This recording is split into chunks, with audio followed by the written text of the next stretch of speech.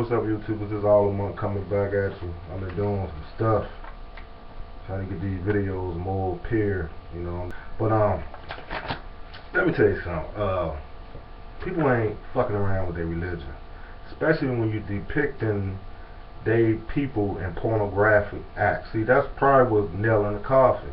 You think just by publishing free speech, when you know when does free speech go too far? Actually, it went too far. Now you see people ain't fucking around.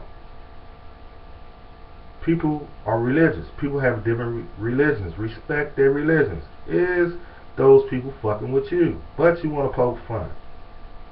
You think it's a game. Now you see it's not a game. Now people gone because people fucking playing games, like immature games. That can, that goes for any religion. It even goes for atheists. Leave people alone.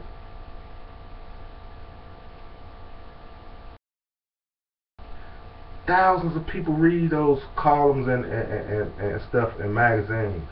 It's a slap in the Islamic community's face. Just like any, this I'm not just talking about, this goes for religion across the board. You cannot make fun of people. Now you see it's not a game and people gone. But why do people got to keep going at it? Don't you understand? Some people ain't going to sit down and take that shit. They're going to react. You know, it's sad. You know, I give my condolences to the family across the pond. It, it, it's it's it's pitiful, folks. You know, it's gonna keep on happening, like I said. So, only thing you should just look out and be vigilant, like I always say in my videos, and follow follow the patterns that's what's going on. Then now they screaming terrorist. Ain't no terrorist. No, that's not a terrorist attack. That's just there they go with this scare tactic shit. These people, they ain't putting up with that.